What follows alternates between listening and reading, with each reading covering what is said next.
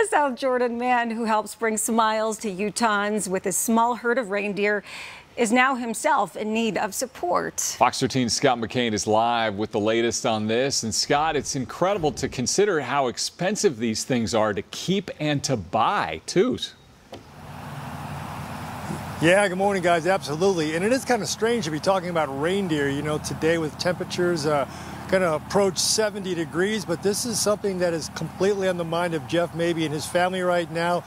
First, after a tragic accident, then a strange illness taking a toll on his small reindeer herd. Family farms in the Salt Lake Valley, this suburban oasis has been in Jeff Mabey's family for generations. Uh, since about 1884. A long time. Special place. It is. A lot of memories here. Jeff and his wife have both been around horses and farms their entire lives. In late 2019, though, they decided to purchase some reindeer. And they were delivered June of 2020. So our first ones were here, actually tinsel, holly, and peppermint. Um, they were our first three here on the farm. Jeff says they quickly began receiving requests to bring the reindeer to places like hospitals, senior centers, and the ice castles in Midway.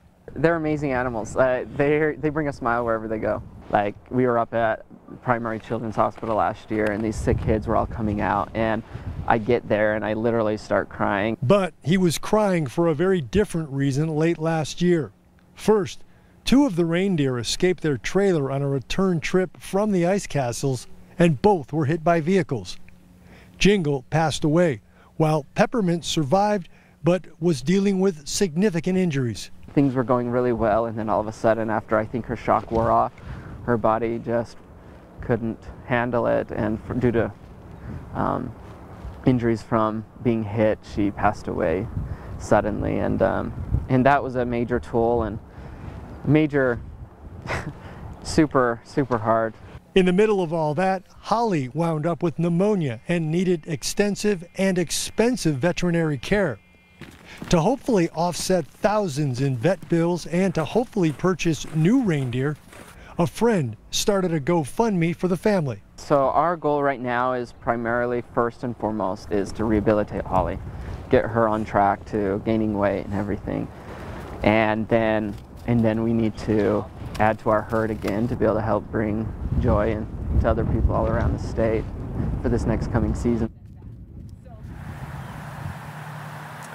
In order to do that, though, uh, they purchased these uh, reindeer from a farm in Washington State, and each one costs between ten and twenty thousand dollars. On top of that, there are numerous permits uh, that have to be filled out and paid for through the state of Utah to get those reindeer here. So, as you heard in the story, there's a friend that started a GoFundMe for the Mabey family. Anyone out there that wants to contribute or wants to know more about all of this, uh, we've got a link set up on our website, fox13now.com.